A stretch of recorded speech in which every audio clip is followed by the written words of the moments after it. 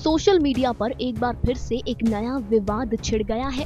ये विवाद छिड़ा है अभिषेक मल्हान और एलविश यादव के बीच में। असल में, एलविश यादव का अंकित बयान पुड़िया के साथ एक नया गाना आया है।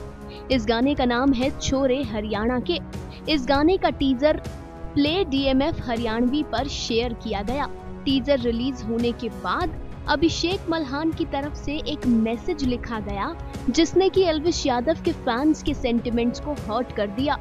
असल में एलविश का गाना जिसके साथ आया है, अंकित बयान बयानपुरिया वो अपनी वीडियोस को इस तरीके से शुरुआत करते हैं, राम राम भाई सारिया ने। बस यही बात, अभिषेक मल्हान ने अपने ब्रॉडकास्ट चैनल में अपने फैंस के लिए लिख दी। अभिषेक ने लिखा, राम राम भाई सारिया ने, और बनाई ज़ोर से हंसने वाली इमोजी अभिषेक का ये मैसेज देखने के बाद एलविश फैंस ने कहा कि अभिषेक ने अब तो नेगेटिविटी की हर हद पार कर दी। तो कोई फ़ैन ऐसा भी था जिसने ये कहा कि अभिषेक ने हिंदू देवी देवताओं को भी नहीं छोड़ा। उनका नाम लेकर भी मज़ाक कर रहा है।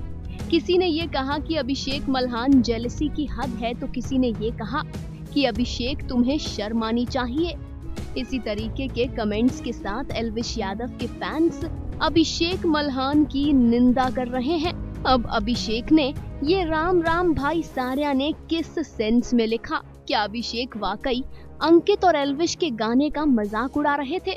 या फिर अभिषेक ने जेन्युइनली अपने फैंस को राम राम कहने के लिए ये मैसेज लिखा था?